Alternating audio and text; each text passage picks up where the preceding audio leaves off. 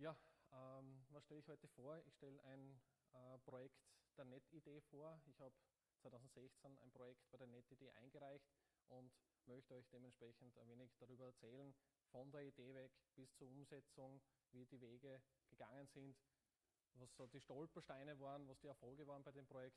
Einfach ein bisschen, dass man ein Gefühl bekommt, auch ähm, wie kann man so ein Projekt aufsetzen, was sind so wichtige Kriterien davon.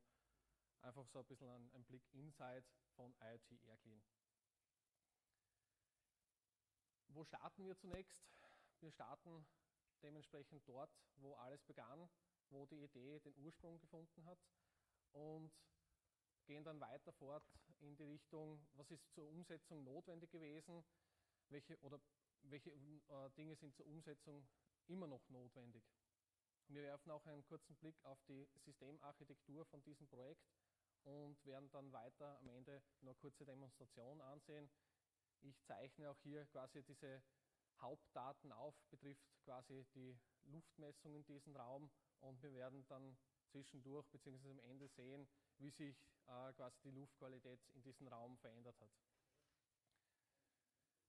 Kurzer Einblick zu meiner Person.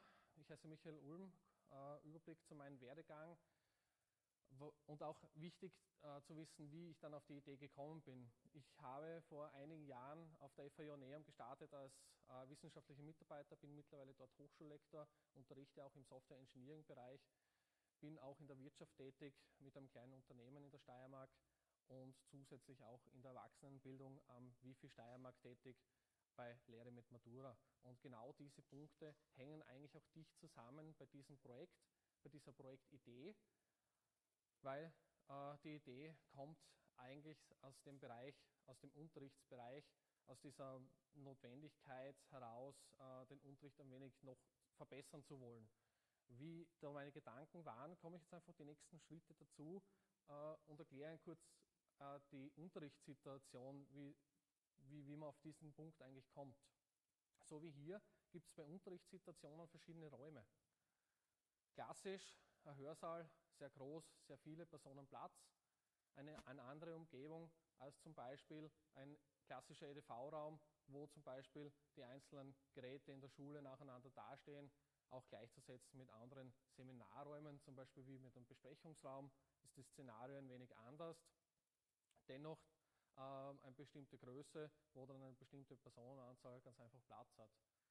Im Vergleich ein, IT, ein anderes IT-Labor, wo dann noch zusätzliche Infrastruktur vorhanden ist, wo zum Beispiel noch Geräte vorhanden sind, was zum Beispiel Wärme und andere Faktoren im Raum beeinflussen können. Der zweite Punkt bei einer so typischen Unterrichtssituation ist dementsprechend auch die divergierende Personenanzahl. Das kann beginnen bei zwei Personen, zum Beispiel Schulunterricht, äh, natürlich in die Richtung mit mehreren Personen, sagen wir mal wie in diesem Raum, oder es werden dann auch immer mehr Personen bis hin zu einer gesamten Hörsaalsituation, wo mehr und mehr Leute natürlich auch mehr Sauerstoff benötigen. Der dritte Faktor, den man hier nicht vernachlässigen sollte, ist auch die Zeit. Unterricht, wir kennen es entweder aus, aus Schule, Studium, Weiterbildung, beginnend von einer Stunde, zwei Stunden, klassische Zeiten für Vorlesungsblöcke oder für Unterrichtseinheiten bis hin zu Tagesworkshops wo natürlich auch äh, Pausen gemacht werden in unterschiedlicher äh, Menge, je nachdem, wer vorträgt, wie die Teilnehmer es sich wünschen, ähm, beziehungsweise wie es die Rahmenbedingungen hergeben. Alle zusammen, alle Situationen, alle Kombinationen haben aber trotzdem einen Faktor gemeinsam, den mich dann auf die Idee gebracht hat, äh, so ein Projekt anzugehen, und zwar die schlechte Luft. Ich möchte ein bisschen erklären, warum schlechte Luft. Situationen, egal wie sie sind, das kann sich auch hier in den nächsten Minuten eigentlich auch verändern, ich sage mal mehreren Minuten. Irgendwann geht man vielleicht hinaus, je länger die Situation ist, desto wahrscheinlicher ist, dass eine Person hinausgeht, ob das jetzt was zum Trinken holen ist oder der klassische Gang auf die Toilette zwischendurch einmal. Es vergeht einige Zeit, benötigt nicht einmal eine Minute, nicht einmal zwei Minuten. Man kommt dann wieder in den Raum zurück und bitte kurze Handzeichen, wer das dann erlebt hat, dass dann wirklich im Raum noch gute Luft vorhanden war, eher stickige Luft, wenn der Vortrag lange gedauert hat. beziehungsweise der Unterricht zu lange gedauert hat. Meistens vergisst man aufs Lüften, beziehungsweise einmal eine Pause zu machen. Teilnehmer drängen dazu, bitte machen wir keine Pause, legen wir die Blöcke zusammen, hören wir früher auf. Das sind alles Faktoren, die dementsprechend äh, sich negativ auswirken auf, gesamte, auf das gesamte Raumklima, sprich auf die Luftqualität. Und das ist eigentlich auch die Idee zusammengefasst. Es gibt bestimmte Lebenssituationen, egal ob das eine Unterrichtssituation ist, eine Seminarsituation, Workshop, Wohnräume, Arbeitsräume. Ähm, überall habe ich irgendwo eine bestimmte Raumgröße, bestimmte Menge an Personen, die es beeinflussen, wie sich die Luftqualität in den nächsten Minuten verändert. Daher meine Idee mit IoT, mit Internet of Things, Daten zu messen, hier ganz speziell die Luftqualität, war für mich zuerst ein Fragezeichen, wie misst man das? Wie kann man das jetzt wirklich ähm, greifbar machen und erklären, wann ist gute Luft, wann ist schlechte Luft vorhanden? Dann dementsprechend die Daten auszuwerten, wann soll gelüftet werden, bevor es zu spät ist. Danach bringt es nichts mehr. Weil wenn bereits dieser kritische Punkt erreicht ist, wo die Luftqualität stark abnimmt, dann äh, hat es auch Auswirkungen auf die Aufmerksamkeit, auf die Leistungsfähigkeit der Personen. Und das ist genau der Punkt, wo ich als, als Hochschullektor, als Lehrender an verschiedenen Bildungseinrichtungen immer zu tun habe und hatte, ähm, dass ich jetzt da selbst nicht gemerkt habe, es ist schon schlechtere Luft darin. Es wird zwar wärmer, aber dadurch, dass man jetzt da selber in dieser Situation ist, ist das eine stufenweise Anpassung, die einem es nicht ermöglicht, diesen gravierenden Unterschied sofort zu merken. Also man lebt eigentlich mit dieser Situation. Und daher die Idee, irgendwas zu entwickeln, das mich informiert und mir ein Zeichen gibt, ein Signal übermittelt, jetzt ist der Zeitpunkt, wo es noch rechtzeitig ist, eine, zum Beispiel zu lüften, eine Pause durchzuführen, bevor die Aufmerksamkeitskurve sinkt. Schlussendlich ist es auch interessant, diese Daten zu visualisieren und Daten miteinander zu vergleichen. Wie hat sich das in einer Situation entwickelt, vergleichbar mit einer ähnlichen Situation. Das heißt, ich kann diese, ähm, dieses Tool auch in verschiedenen Unterrichtssituationen einsetzen, fortlaufend bei einem Workshop zum Beispiel und kann darauf dann auch speziell eingehen, wie sich die einzelnen äh, Situationen verändern. Dann war es natürlich auch not, notwendig zu analysieren, was ist jetzt zur Umsetzung notwendig. Ich habe eine Idee, was brauche ich dazu? Ich brauche Personen, die das umsetzen also Man- oder Woman-Power dahinter, die mir, mich unterstützt oder, oder ich alleine, die das äh, Projekt umsetzen. Was benötigt man meistens noch? Zeit. Zeit benötigt man, um diese äh, Umsetzungen durchzuführen. Ich habe einmal ähm, eine grobe Kalkulation durchgeführt. Ich habe mir gedacht, ja, in, in circa einem Jahr mit einem Aufwand von einem Tag pro Woche könnte man so ein Projekt umsetzen. Jedoch, diese Ressource muss auch irgendwo äh, gewonnen werden. Insbesondere, wie, Sie, äh, wie ihr vorhin gesehen habt, ähm, als, als Hochschullektor tätig, dann zusätzlich im Unternehmen. Zeit kann ich auch nicht äh, verdoppeln. Also muss auch irgendwie die Möglichkeit geschaffen werden, diese Zeit irgendwo unterzubringen. Schlussendlich Geräte und Sensoren für diese Projektumsetzung.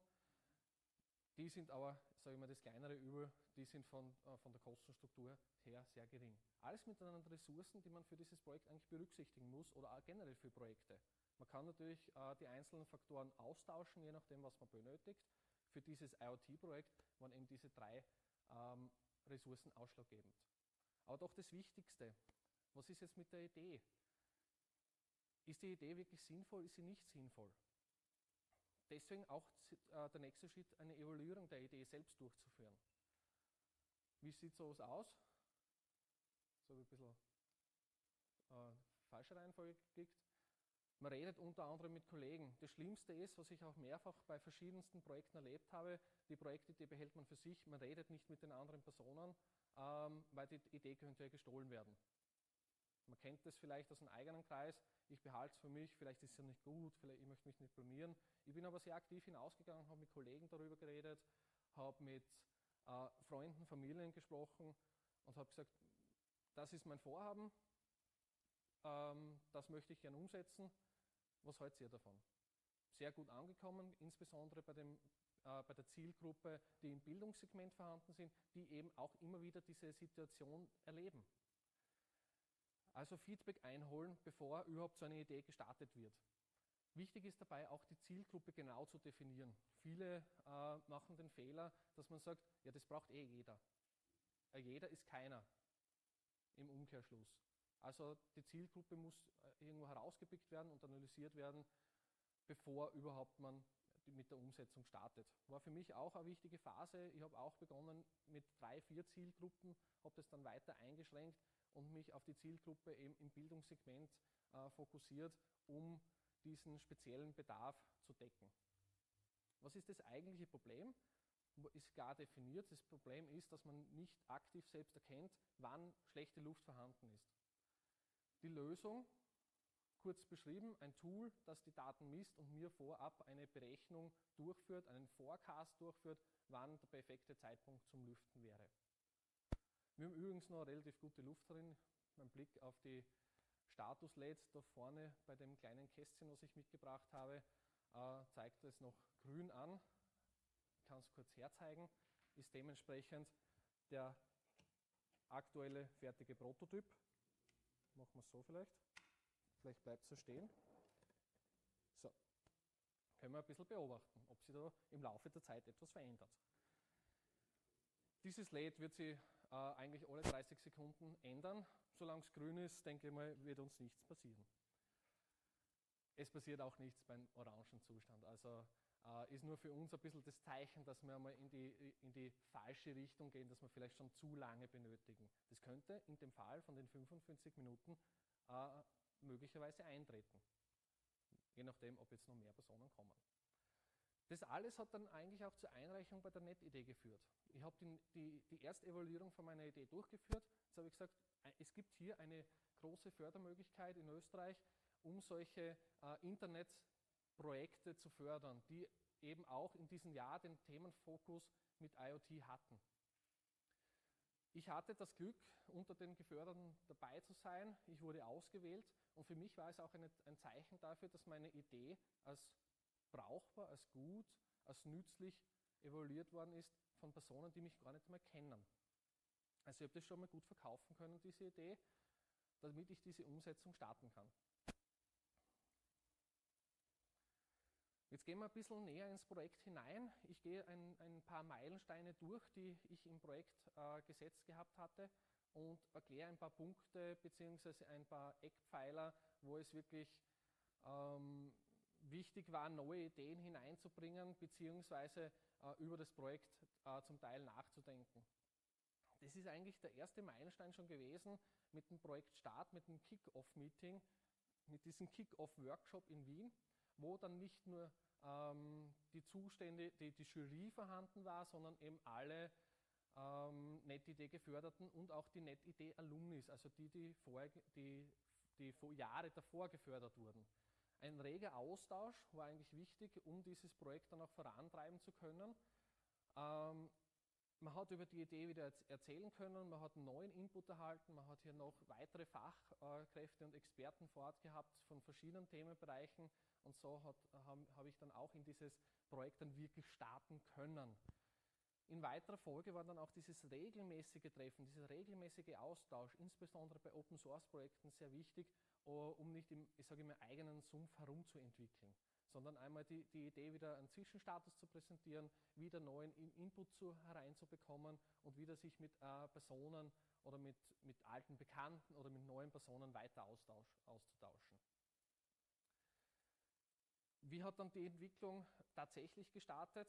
Äh, ich habe jetzt einmal ganz simpel begonnen mit einem Development Board, mit äh, sogenannten Proof Boards, wo dann die Sensoren ähm, auf ein Arduino platziert werden konnten. Also ich habe jetzt noch nicht irgendwie äh, wirklich irgendwas löten müssen oder irgendwas selbst verkabeln müssen äh, ähm, oder zusammenbauen müssen, sondern habe eigentlich nur noch wie Lego die Teile zusammengebaut und habe dann einmal mich auf mein, meinen Kernbereich, den ich eigentlich schon mitgebracht habe, in die Softwareentwicklung stürzen können. Ich habe die Daten ausgelesen und habe damit auch den, in Richtung zweiten Meilenstein arbeiten können und einen ersten Sensorknoten entwickelt, der mir die Daten ähnlich wie dieses Kästchen da vorne, also die, die Sensorbox, wie ich sie nenne, ähm, dann auch ähm, in einer bestimmten Art und Weise visualisiert. Damals war es halt noch mit einem Balken, wo ich dann bestimmte Grenzwerte gesetzt habe und eine erste Analyse durchführen konnte. Gut, ich habe einmal Daten gehabt, dies, diese, diese IoT-Daten von, mein, äh, von meinem Umfeld, äh, habe aber noch nicht diese vernetzt, äh, noch nicht mit einem zentralen Punkt vernetzt. Der nächste Punkt war auch einmal, diese Daten weiter zu analysieren. Ich habe diese Sensorbox weiter aus, äh, ausgebaut, dass ich hier eine, einerseits eine Datenaufzeichnung gehabt hatte und einmal auf eine einfache Art und Weise die Daten visualisiert habe für mich, um eine weitere Analyse zu starten. Ganz klassisch, äh, klassisch sage ich dazu, in Form von äh, einem CSV und der Visualisierung mit Diagrammen, wie man es bei anderen Projekten vielleicht auch kennt. Es hat sich dann aber dadurch schon herausgestellt, dass ich auf dem richtigen Weg bin, ähm, da ich hier diese Daten gut miteinander vergleichen konnte. Einerseits die CO2-Werte, andererseits die Temperaturwerte, wo ich dann auch erkannt habe, wenn ich diese zwei Werte ähm, miteinander auch parallel vergleiche, sehe ich, ob diese Daten wirklich äh, zusammenpassen. Temperatur und Luftqualität, also quasi der CO2-Wert, hängen dann doch ähm, in einer bestimmten Art und Weise zusammen. Das gleiche auch in Richtung ähm, Luftfeuchtigkeit ist dementsprechend etwas hinuntergegangen, ist aber dann weitgehend stabil. Dieser Punkt hat mir aber gezeigt, dass ein, eine Vernetzung von IoT-Geräten notwendig ist. Der Aufwand, diese Daten auszulesen, war eigentlich recht mühsam. Jedes Mal messen, abstecken, überspielen, auswerten und das immer wieder im gleichen äh, Regelkreislauf war dann doch nicht der ideale Weg, wo ich dann bestimmte Projektschritte, die ich eigentlich später geplant hatte, vorgezogen habe. In, in, in diesem Endeffekt eine, eine Serverarchitektur aufgebaut habe, um diese Daten langfristig zu speichern, beziehungsweise äh, etwas automatisierter die Daten auch auswerten zu können.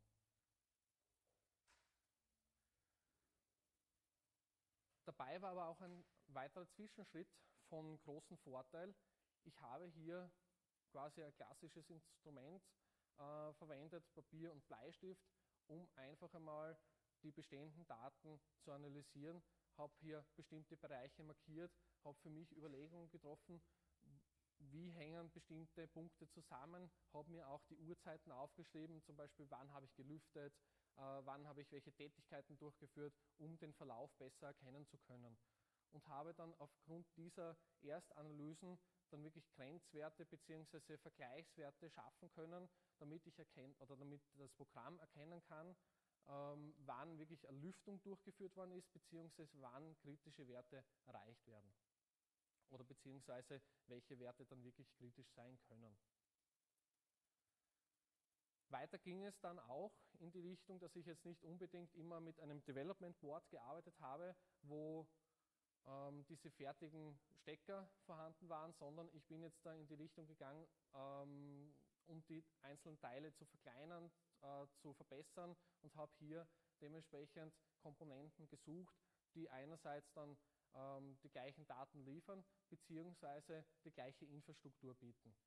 Vorhin war es halt ein, ähm, ein, ein normaler Arduino, im weiteren Sinne ein Arduino Nano, der für diese Funktion des Datenloggens eigentlich ausreichend ist.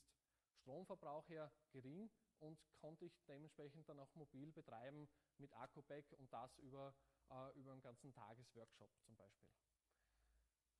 Die weiteren Sensoren, was wichtig waren, waren zum Beispiel der CO2-Sensor beziehungsweise auch ähm, Luft- und Temperatursensor, die jetzt, äh, jetzt nicht ähm, spezielle Sensoren sind, sondern wirklich, ähm, ich sage es der, der DHD22, wenn jemand mit Arduinos und mit Sensoren arbeitet, ist es der gängigste Sensor, der am Markt vorhanden ist und auch der günstigste in diesem Fall. Mit knappe 5 bis 10 Euro, je nachdem, wo man bestellt und wo man erwirbt. Ein Knackpunkt in, de, in, gesamten, ähm, in diesem gesamten Projektverlauf ist jedoch dieser CO2-Sensor, der dann doch um die 50 äh, bis 100 Euro je nach Menge und je nach ähm, Verkaufsort dann sehr variiert und einen großen Bestandteil des, der, der gesamten Infrastruktur einnimmt. Man sieht hier dann noch weitere Knackpunkte. Ähm, meine Fehldimensionierung von einem Gehäuse. Man hat zuerst nicht wirklich die Ahnung, wie groß oder wie viel Platz brauche ich. Ich habe zwar diese Teile dann vorliegen, gut, die schauen nicht viel aus. Ich, ich designe zuerst einmal ein kleines Gehäuse, baue die Teile zusammen, kommen dann dementsprechend Kabel äh, und andere Teile noch hinzu und komme dann drauf, es funktioniert nicht in dieser Größe. Also hier, wurden, hier war auch ein, ein Punkt dabei in diesem Projekt, äh, wo ich längere Zeit investieren musste, um die richtige Form von diesem Endgerät äh, zu finden. Ich habe mich hier bewusst, vielleicht sieht es auch schon jemand, für 3D-Druck entschieden, um individuelle Gehäuse anfertigen zu können. Und je nach Bedarf, ob ich jetzt eins mehr oder eins weniger brauche, dann auch sehr schnell äh, einfach drucken kann. Natürlich hätte es eine kleine Schachtel auch getan, wollte aber dann doch in diese Richtung gehen, dass es äh, etwas herzigbar sein soll, weil es doch ein, äh, ja, ein schönes Projekt schlussendlich werden, äh, geworden ist. Das sind die zwei aktuellen Prototypen, beziehungsweise der erste Prototyp, wo dann auch eine weitere Schwäche von mir erkannt wurde. In dem Fall die Positionierung der Sensoren. Man sieht hier den Sensor herausragen, ganz leicht, um wirklich die Außentemperatur, nicht die Innentemperatur von dieser Box zu messen. Ähm, sind eben Punkte, wenn man damit zu tun hatte, weiß man es. Ähm, es notiert komischerweise nirgend äh, keiner im Internet, dass das ein, ein, notwendiger Bestandteil wäre. Und dann, wenn man es wirklich einmal durchlaufen hat, diesen Lernfokus äh, oder diesen Lernprozess, dann hat man es dann eh auch schon wieder äh, für die längere Zeit ähm, ja, für sich abgespeichert. Diese Gehäuse sind dementsprechend auch im Internet äh, bereitgestellt, wie alle anderen Projektteile. Alle stehen unter der Open Source Lizenz und können von jedem dementsprechend auch weiter bearbeitet und verändert werden. Dazu später ein paar Punkte noch. Ein wichtiger Bestandteil von diesem IoT-Projekt war dann doch die äh, Prognose, wann soll ich lüften, wann soll ich nicht lüften. Wir haben immer noch grün, das ist immer gut, also wir haben noch keinen kritischen Bereich erreicht. Das heißt, auch die Prognose ähm, nimmt die bisherigen Werte und errechnet eine, eine bestimmte Wachstumsrate für die, für die nächste halbe Stunde. Aufgrund der Werte, die ich vorher gesammelt habe. Je mehr Werte ich habe, desto genauer wird auch die ähm, Wachstumsberechnung. Man sieht es hier im Vergleich, ganz schwer leider, 19 Uhr ist dieser Punkt. Das war die Berechnung äh, von diesem Zeitpunkt bis 19 Uhr. Geht man nun ähm, eine Viertel, halbe Stunde weiter, erkennt man, dass die Berechnung ähm, oder dass der Trend in die richtige Richtung geht. Also in diesem Projekt habe ich es auch zum Großteil geschafft, eine sehr genaue Analyse durchführen zu können, wann ein richtiger Zeitpunkt zum Lüften ist.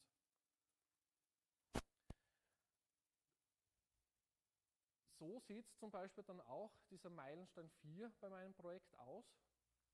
Ich konnte dann Langzeitmessungen durchführen, teilweise bei mir zu Hause über Tage hinweg oder im Büro über Tage hinweg oder je nach äh, äh, Übungssituation oder Unterrichtssituation auch mehrere Stunden und konnte dann später auch diese Daten miteinander gut vergleichen. Zur Erklärung, ähm, man sieht hier zum Beispiel auch sehr gut die Anstiege, also mit der grünen Kurve von den CO2-Werten und die obere rote Kurve ist so gesehen ein oberer Grenzwert.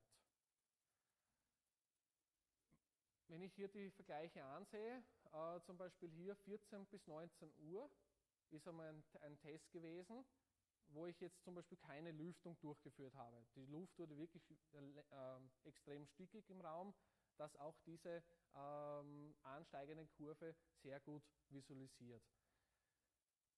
Die abfallenden Bereiche zeigen eindeutig die äh, Lüftungen durch, weil durch diesen schnellen Luftaustausch sinkt wirklich äh, in ein, zwei Minuten oder bis zu maximal fünf Minuten der CO2-Wert zu einem normalen Level. Das heißt, es reicht bereits, wenn ich das Fenster ein bis zwei Minuten aufmache in der Unterrichtssituation, wenn ich die Information vorliegen habe, dass ich dann den, äh, die Teilnehmer wieder mit ausreichend Sauerstoff versorge. Die Finalisierung von dieser kleinen Hardwarebox sieht man jetzt auch hier vorne. Gleich wie äh, oder ähnlich einem, eines Ampelsystems sind auch diese, ist diese Multiled geschalten. Ich gehe kurz eine Folie zurück. Auch diese einzelnen geraden Kurven signalisieren oder zeigen äh, nach einem Ampelsystem den Level, den CO2-Level an. Normaler oder ich meine, so zum Beispiel Außenluft, gesund, also Frischluft nennen wir es jetzt in diesem Bereich, ähm, hat ca. um die 300 bis 400 ähm, Parts per Million ist, ist der Wert für die CO2-Messung, also wie viel ähm, Verschmutzung bzw. wie viel CO2-Gehalt hat äh, in diesem Moment das, ähm, die Raumluft. Gehen wir im Bereich in, zum Beispiel hier auf 2000 hinauf oder von 1600 bis 2000 ist schon ein Bereich, wo dann Teilnehmer sagen, sie haben ein bisschen Schwindelgefühl, vielleicht auch äh, leichtes Kopfweh, Müdigkeit. Das ist von Person zu Person sehr unterschiedlich. Das muss man dann den, bei den Teilnehmern dementsprechend dann auch ähm, ja, individuell eingehen. Ich habe diese Messungen in verschiedenen Unterrichtssituationen durchgeführt und das Bild hat sich wirklich so wiedergespiegelt. Ich habe sehr aktiv probiert, zum Beispiel diese, machen wir diesen Stoff jetzt noch vor der Pause durch. Das kennt sicher jeder. Ich habe nur noch fünf Folien. Davon kann ich massiv abraten. Ich habe das dann auch bei den CO2-Werten gesehen, dass der Anstieg enorm hoch war, auch rückblickend auf die Aufmerksamkeit der Teilnehmer, die bei Null war, und ich eigentlich nach, nach der Pause wieder vor diesen äh, Folien beginnen musste. Das war eine sehr wichtige Erkenntnis, wo ich dann später nochmal kurz darauf ähm, eingehen möchte. Ja, zu dem Punkt wechseln wir kurz zu dieser Demo. Ich hoffe, dass die Daten gut auf mitgezeichnet wurden.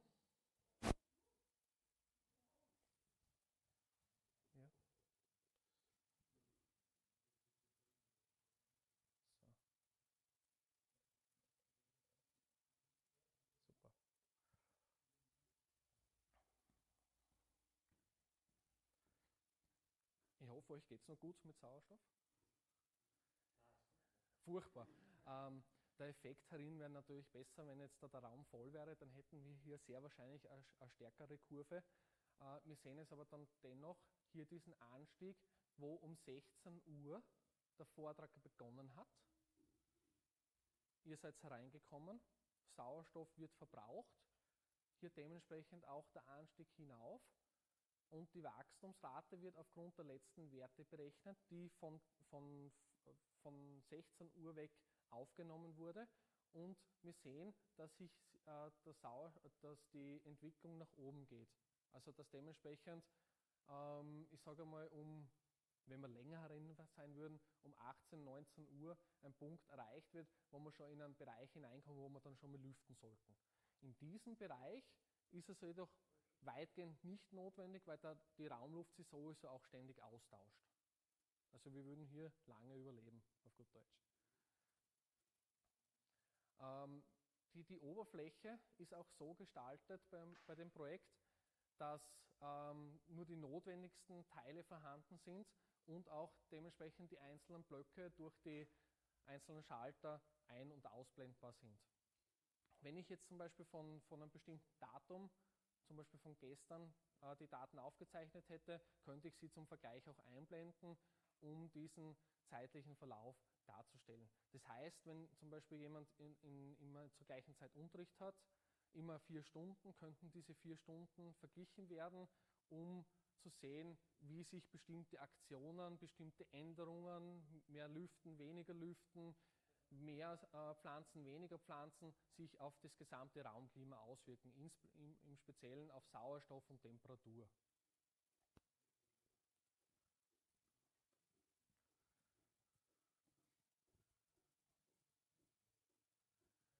Wechseln wir wieder zurück in die Präsentation mit einem kurzen Blick auf die Systemarchitektur. Im Endeffekt gibt es hier zwei wichtige Komponenten, eben die Sensorboxen, die, ähm, quasi unsere ähm, IoT-Hardware, wo die Daten aufgezeichnet werden und über XBee-Technologie, über Funktechnologie zum zentralen Server, hier ein Raspberry Pi mit einem RPI-Display, ähm, und mit der dementsprechenden äh, Infrastruktur wie Datenbank, äh, wo habe ich Webserver, da Webserver, dann auch Übertragungstechnologien, um ähm, den einzelnen verbundenen Clients die Daten zu senden und über die gleiche Technologie die Daten auch zu empfangen. Es wird auch eine Synchronisation durchgeführt auf einen externen Webserver. Das ist ein optionaler Punkt, den man freischalten kann, dass man sagt, man hat einerseits die, ähm, den IoT-Server bzw. die IoT-Sensorbox. Jedoch, wenn man es haben möchte, dass auch externe Personen zugreifen, einen äh, externen Server mit einem eigenen Webhosting, wo dann auch die Daten oben liegen. Im Prinzip ist es so aufgebaut, dass ähm, die XP-Technologie auch dementsprechend über große äh, Gebäudeinfrastrukturen funktionieren sollte. Das heißt, ich könnte in der Schule einen Server betreiben und dann äh, über die einzelnen Knotenpunkte von Stockwerk zu Stockwerk beziehungsweise auch weitflächig die einzelnen Klassen mit so einer ähm, Infrastruktur, könnte man so äh, die einzelnen Klassen mit der Infrastruktur ausstatten. Und man hätte jetzt dann nur einmal den Server und mehrere Boxen, um eigentlich flächendeckend äh, eine Schule damit zu betreiben. Die wichtigsten Erkenntnisse aus diesem Projekt heraus waren im Bereich ja, der Aufmerksamkeit. Man kennt das jetzt, denke ich mal, aus Schule und Studium. Die Aufmerksamkeitskurve bis zu einem bestimmten Punkt hat man hier eine sehr hohe Aufmerksamkeit, die jedoch leider bereits nach wenigen Minuten sehr stark abfällt. Und das kann ich auch dementsprechend mit dieser ähm, Sensormessung ähm, bestätigen. Das heißt, je länger wir in einer Situation sind, wo uns eigentlich Sauerstoff fehlt, wird dementsprechend die Aufmerksamkeit geringer. Und genau dieser Punkt, wo, wo man immer sagt, bitte legen wir diese Pausen zusammen, den habe ich komplett abgeschafft und sage, nach 45 Minuten ist für mich der klare Cut-off, egal wie weit man im Stoff ist oder nicht, dass man hier ähm, zuerst lüftet und dann erst die weiteren ähm, Themen durchmacht. Das waren eigentlich so diese wichtigsten Erkenntnisse aus diesem Projekt. Wobei es hat natürlich auch Auswirkungen von diesem Projekt gegeben. Es hat jetzt da nicht nur dieses IoT-Projekt ähm, IoT Airclean für mich gegeben, sondern wir haben diese Technologien rundherum in verschiedene Kundenprojekte einbauen können.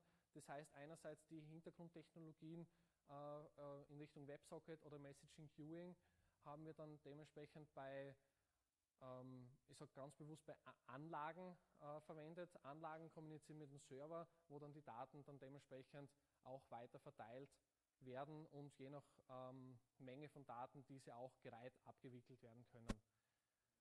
Des Weiteren habe ich auch dieses Thema in Lehrveranstaltungen einbinden können. Dieses Jahr ganz konkret in einer Lehrveranstaltung der FH Ioneum, ähm, wo auch diese Technologie zu, wiederzufinden sind und ein bisschen in Richtung Schwerpunkt IoT geht und sogar in die nächsten Jahre der Schwerpunkt bei uns in der Lehre noch mehr getätigt wird, wo wir dann den Studiengang auch zum Beispiel in diese Richtung ähm, ich sage mal, hingeleitet haben.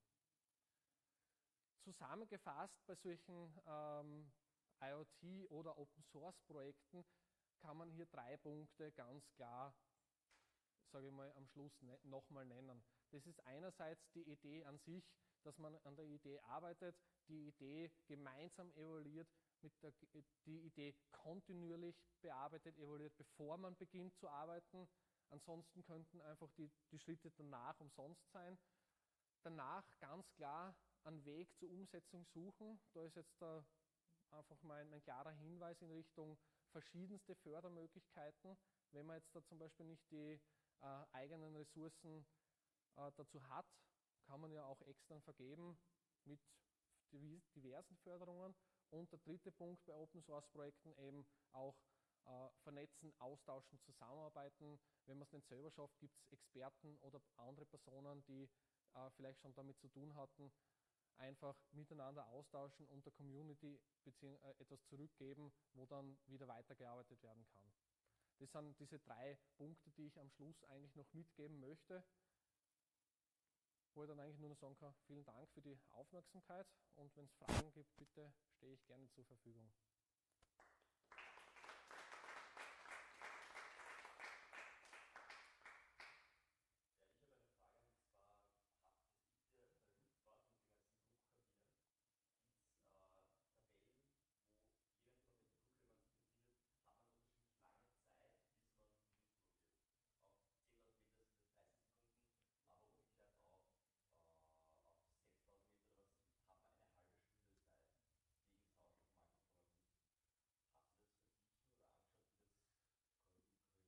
Also diese Tabellen nicht speziell, ähm, sondern ich habe hier verschiedene Forschungsergebnisse genutzt, wo ich dann auch, ich gehe ganz einfach ein paar Folien zurück, wo man es dann sehr gut sieht. Also diese einzelnen Grenzwerte, diese 400, 800, 1200, 1600 bis 2000, habe ich dementsprechend auch von verschiedenen Ergebnissen, äh, Ergebnissen übernommen und auch dementsprechend nochmal für mich verifizieren können, dass das auch so übereinspricht.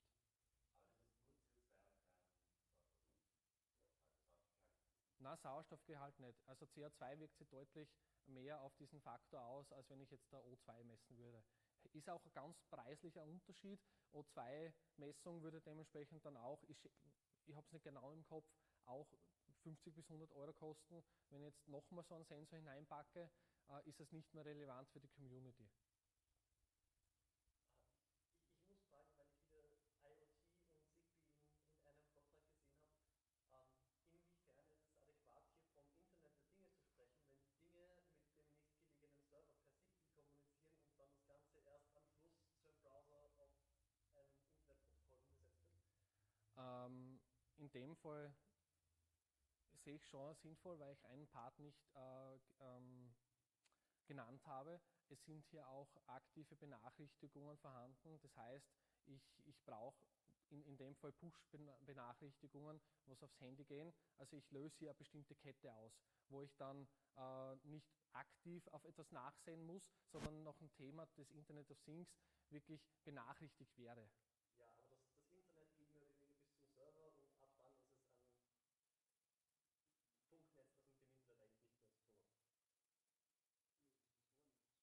Sensornetz. Und Sensornetz, es gibt, also ich sage mal im deutschsprachigen Bereich ähm, beginnt meistens die Definition bei Industrie 4.0 und IoT ist ein Part von Industrie 4.0. Im amerikanischen Bereich ist es genau umgekehrt. Ähm, ich sage mal, die Grenzen verwischen äh, schon sehr. Es ist trotzdem IoT, Internet of Things, diese Dinge sind miteinander vernetzt und ich, ich glaube, dass das ein wichtiger Bestandteil dabei ist.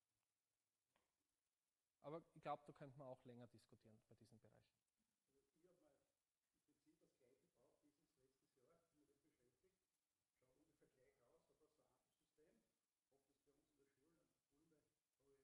ja. stationiert aufgebaut. Ich kann da sagen, ich habe Seiten drinnen, schaut sehr ähnlich aus. Sensorenmäßig habe ich ganz andere.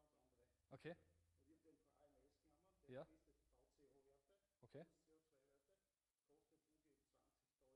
Ah, der ist IKVC-fähig und da braucht nichts kalibriert gar nicht, also der ist perfekt, muss ich sagen, weil nur CO2 alleinig ist zu wenig für die Luftgüte. Man sollte auch VCO-Werte mitnutzen. Vielleicht können wir uns da im, im, im Nachgang noch ein bisschen austauschen. Das kostet ungefähr 20 Dollar, das kriegt man bei RS-Komponents derzeit. Ja. Dann Temperatursensor habe ich auch 100, den BS1820. Ja, ist mir auch bekannt.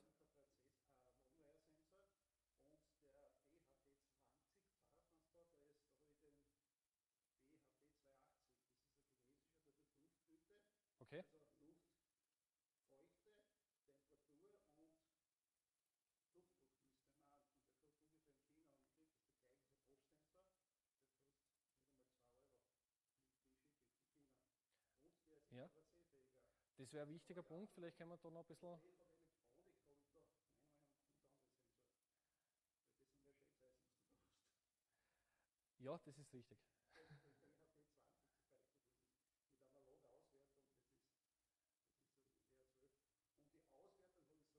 ersten Brocken das leichteste war. Beziehungsweise habe ich IO-Broken im Betrieb gehabt. Mhm. MQTT und es läuft relativ gut. Und Kosten meiner Box ist ungefähr, also bis auf den CO2-Sensor, VCO-Sensor. Die Box habe ich vom Baumarkt gekauft, das ist 500.000, 2 Euro, 5 einfach. Also ich würde sagen ungefähr 25 Euro pro Box.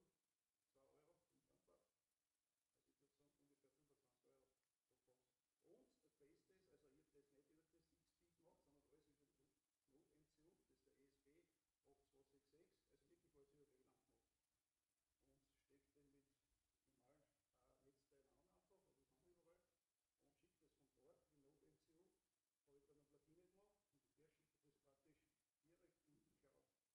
die Cloud oder zum Raspberry Pi. Ja, die, die Wahl in Richtung XP war von mir ganz bewusst betrieben. Ich habe jetzt genau. weil,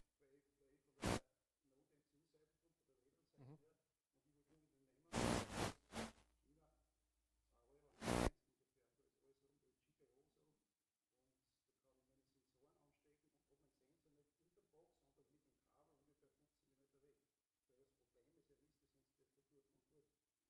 von der Node-NCU-Seite komme, von der WLAN-Seite Mhm.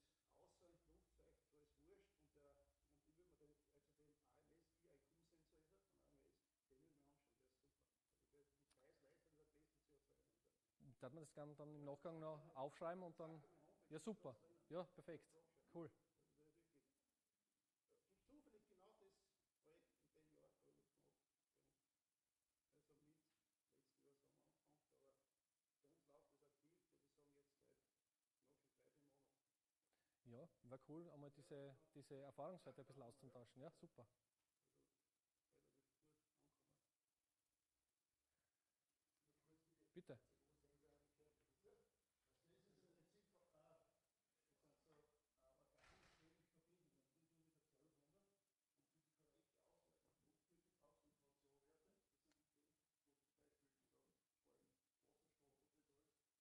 sagen, und kann man überall kaufen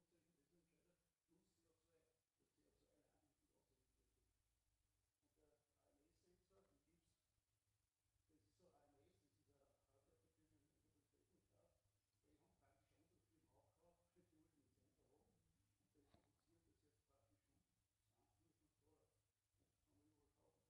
Komponent. Und der macht wirklich über IKV10 nicht kalibrierbar, also ungefähr sagt er, 24 Stunden soll sie einbrennen und nach 24 Mhm. Stunden läuft wirklich absolute Werte messen. Die brauchen nichts pumpen. Das ist das Schöne, gell? Also Kalibrierungen habe ich bei diesem Sensor auch keine mehr durchführen müssen. Nur wenn der Herz CO2 sind 50 Dollar und so, das ist schon Ja, ist, ja, das ist richtig. Applikation AMS, die tun wir das praktisch gratis und die verwenden gut. Die Mhm. Connection. Das geht relativ gut, also den kann ich wirklich empfehlen, wenn man was will, weil vor allem IK3C, das ist Standard. Und das ist mit, und Node-NCU ist mit Arduino zu programmieren. Das ist Standard Dreier-Bibliothek, Windows 9 und das. Ja, perfekt. Ja, diese Punkte kann ich mit aufnehmen, weil ein Part davon ist eh, dass ich dieses Projekt dann dementsprechend weiterentwickeln möchte. Ja, schauen. Super. Ich glaube, die Zeit ist jetzt vorbei. Wir bekommen schon das X. Sage ich nochmal vielen Dank für die Aufmerksamkeit und wir können danach noch ein bisschen weiter uns